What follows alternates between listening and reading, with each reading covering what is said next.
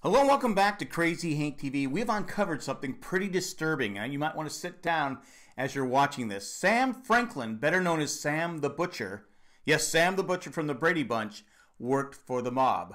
Now, it was there the whole time, Sam the Butcher. That's a mob's name, but it was the 70s, and we weren't very bright back then. We didn't pick up on it.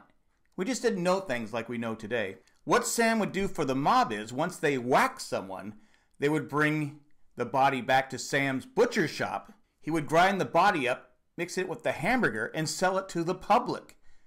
And you know, the Brady Bunch ate a lot of people that were whacked. They ate a lot of hamburger. And you're, you're thinking, well, how could that be? And Alice was in on it. Alice worked with Sam with the mob.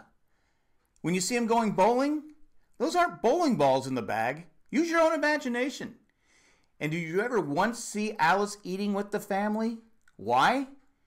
Why didn't she eat with the family? She knew what was in the meat. And we've also learned that Sam, the butcher, is the one that disposed of Jimmy Hoffa, and they were fed to the Brady Bunch. Mike and Carol and the Brady kids ate Jimmy Hoffa. And we've also learned something very disturbing that Alice and Sam recruited Bobby Brady in on the mob. Here's a picture of him. He's pointing a gun at someone we're not sure who it was, but we found this photo of Bobby Brady, who also works for the mob. Now, people always ask, whatever happened to Oliver? Bobby didn't like him. He was getting in Bobby's space. He had to do all the scenes with Oliver. We think Bobby had Oliver whacked. Could have been the bowl haircut. We're not sure. But let me know what you think in the comment section. Are you disturbed by this? Did you know the whole time? Did you have a theory because you hear Sam the Butcher thinking, hey, that guy works for the mob.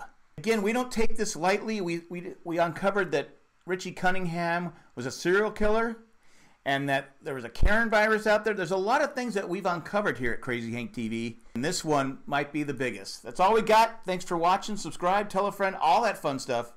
Bye, everybody.